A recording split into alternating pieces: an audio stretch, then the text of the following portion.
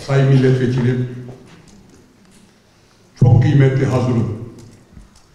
Trabzon Esnaf Sanatkarlar Odalar Birliği tarafından Mobilyacı İş Adamları Derneği ortaklığıyla uygulanan ve Avrupa Birliği ile Türkiye Cumhuriyeti tarafından Çalışma ve Sosyal Güvenlik Bakanlığı, Avrupa Birliği Mali Yardımlar Dairesi Başkanlığı aracılığıyla finanse edilen Gençler CNC tezgahı ile iş hayatına atılıyor projesinin açılış toplantısına hoş geldiniz diyorum. Hepinizi saygıyla selamlıyorum.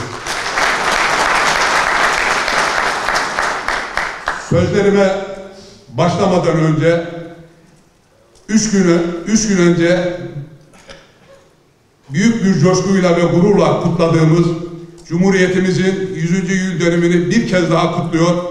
Başta Cumhuriyetimizin kurucusu Gazi Mustafa Kemal Atatürk ve bu toprakların binlerce yıldır vatan olarak kalması için canlarını feda eden aziz şehitlerimizi rahmetle ve minnetle anıyorum.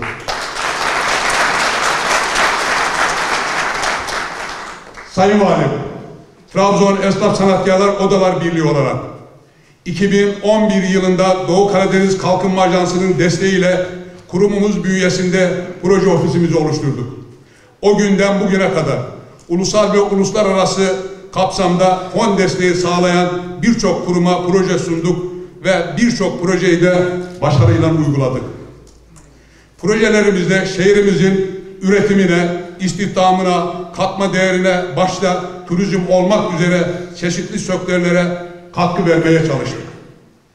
Projelerimizde birliğimiz sorunlarını kısmı olarak çözümü dahilinde bir strateji planı çerçevesinde gerçekleştirdik. Ticari taşıt sürücülerinin davranış modellerinin geliştirilmesi projesinde 5600 şoför esnafımıza halkla ilişkiler, mesleki yabancı dil, turizm konularında çeşitli eğitimler verdik. Bu projemiz Türkiye'ye örnek oldu ve birçok ilde uygulanmaya başladı.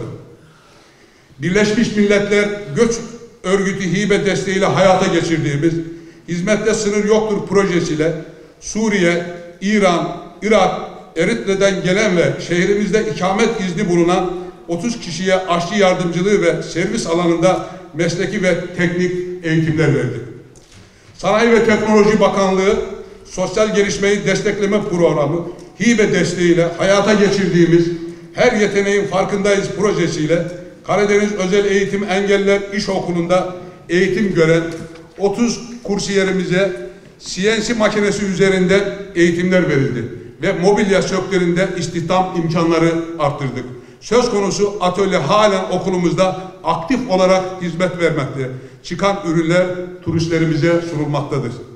Çalışma ve Sosyal Güvenlik Bakanlığı Avrupa Birliği ve Mali Yardımlar Dairesi tarafından finanse edilen Turisti Kazanan Geleceğe Kazanır projesi kapsamında 20 erkek ve 20 kadın kursiyerimize servis ve ön büro alanlarında eğitimler verildi ve staj imkanları sağlandı. Malta'da Malta'da yabancı dil eğitimi de alan kursiyerlerimiz halen sektörde istihdam edilmektedir. Doğu Karadeniz Kalkınma Ajansı'nın desteğiyle hayata geçirdiğimiz Gençlerimiz dijital pazarlama eğitimiyle iş hayatına atılıyor projemiz kapsamında. 30 kursiyere online satış yöntemleri ve dijital mecralarda satış ve pazarlama konularında 21 farklı konuda eğitimler verildi. Bu projemizdeki kursiyerlerimiz de birçoğu girişimci oldu veya profesyonel olarak çalışıyorlar. Kıymetli hazırım, Trabzon Esnaf ve Sanatkarlar Birliği olarak turizm sektörü başta olmak üzere birçok alanda proje çalışmalarımız devam etmektedir. Bugün burada gençlerimiz CNC tezgahıyla iş hayatına atılıyor projemizin açılış toplantısını gerçekleştirmek üzere bir arada bulunuyoruz. Bu projemiz ile yüzde yetmişi Çin, yüzde yirmisi Türkiye'nin diğer şehirlerinden getirilen hediyelik eşya üretiminde Trabzon'un payını arttırmayı hedeflemekteyiz. Projemiz kapsamında ne eğitimde ne istihdamda olan 15 kadın, 15 er, erkek, 5 engelli gencimizin sektörde istihdamını sağlamaya amaçlıyoruz. Projemiz hakkında detaylı bilgileri arkadaşlarımız birazdan sizlere vereceği için fazla detaya girmek istemiyorum. Projemizin hazırlanmasında emeğe geçen başta eğitim müdürümüz ve proje uzmanımız, Erhan Eroğlu olmak üzere tüm arkadaşlarıma teşekkür ediyorum. Kursiyerlerimize ve eğitmenlerimize şimdiden başarılar diliyorum.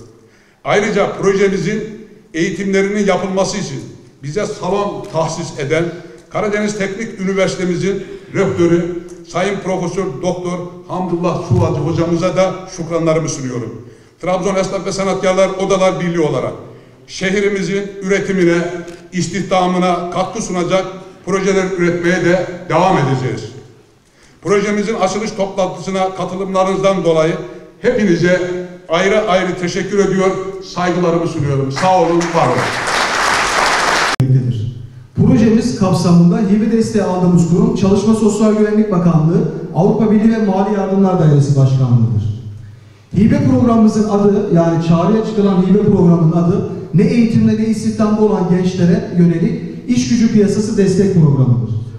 Bu program kapsamında bir proje e, birazdan detaylarını anlatacağım fakat bu tanımın ne olduğu konusunda bir açıklama yapmak gerekirse yaygın öğretim, örgün öğretim ve açık öğretim sisteminde okumayan, istihdamda yer almayan, hatta iş aramış artık iş aramaktan e, sıkılmış, iş aramaktan e, bunalmış ve psikolojik olarak da belki etkilerini gözlemleyen e, arkadaşlarımız bu gruplarda yer alıyor.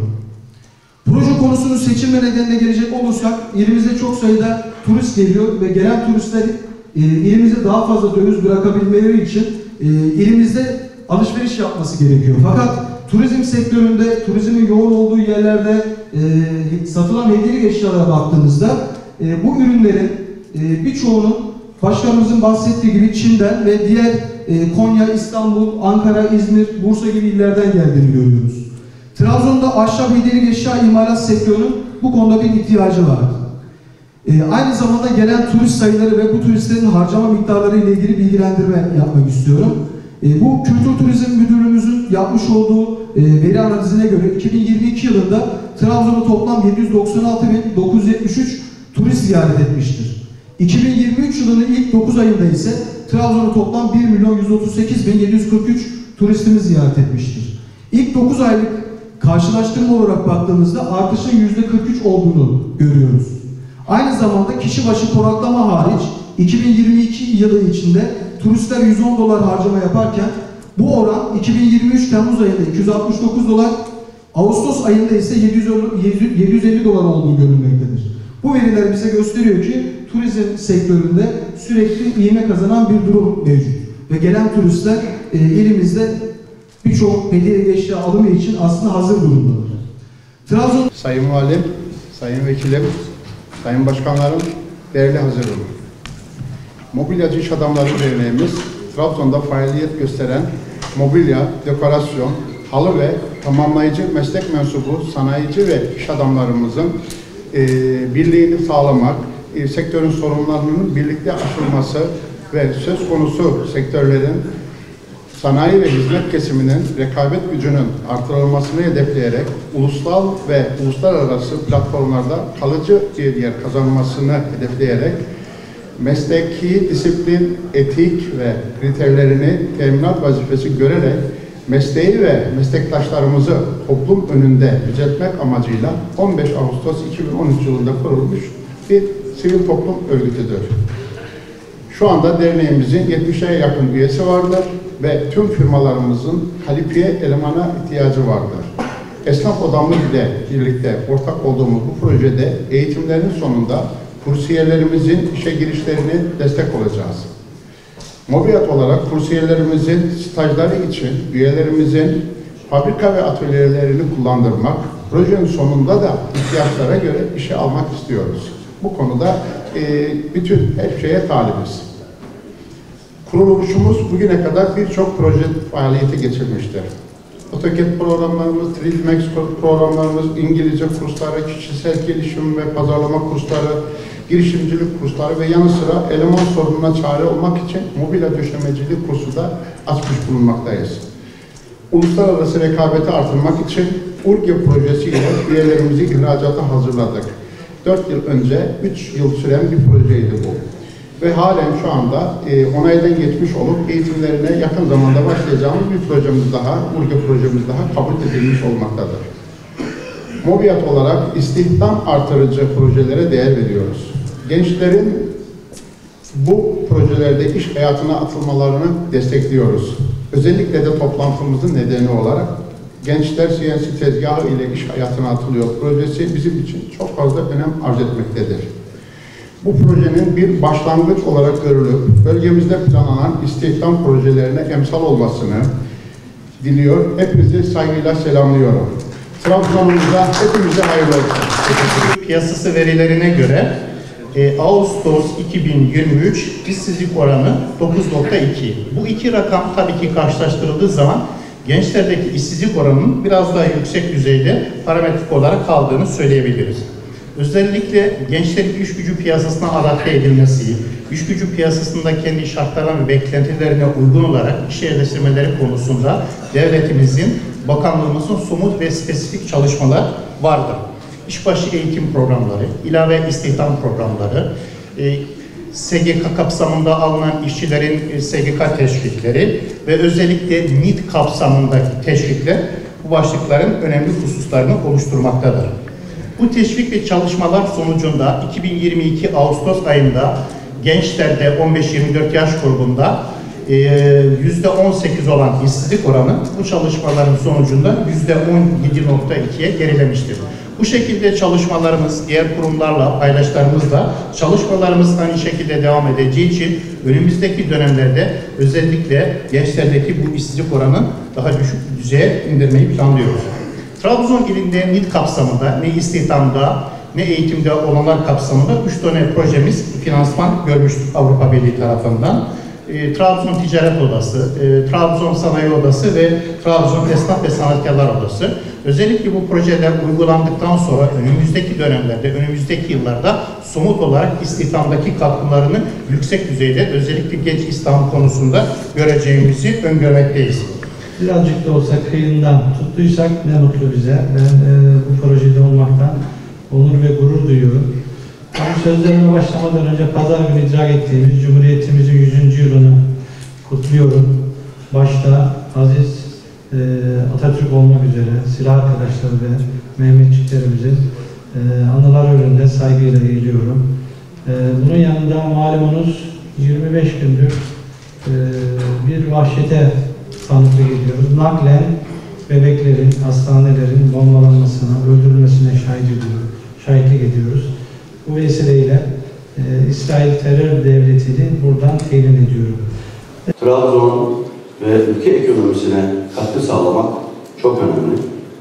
Ben de iş dünyasında hep bir üretim projesinde yer alayım ve ihracat yapayım hayaliyle e, iş hayatında hayatımı geçirdim. Ama bugün burada görüyoruz ki bu biraz önceki saymış olduğum kadro, alkışladığımız kadro gençleri CNC tezgahlarıyla buluşturup üretime destek olmak anlamında çok büyük, çok güzel bir proje hayata geçirmişler. Ben gerçekten takdir ediyorum, teşekkür ediyorum, saygıyla önlerinde eğiliyorum. Tabii bu proje hem Trabzon ekonomisine hem de ülke ekonomisine çok büyük katkılar sağlayacak. İşsizlik noktasında ciddi katkılar sağlayacak. İstihdam noktasında gerçekten çok büyük katkılar sağlayacak. Yine projenin sunumunda izlediğimiz gibi bölgemizin turizm alanındaki bir boşluğunu doldurmuş olacak ve buradan da ülkemize bir döviz girdisi sağlayacak.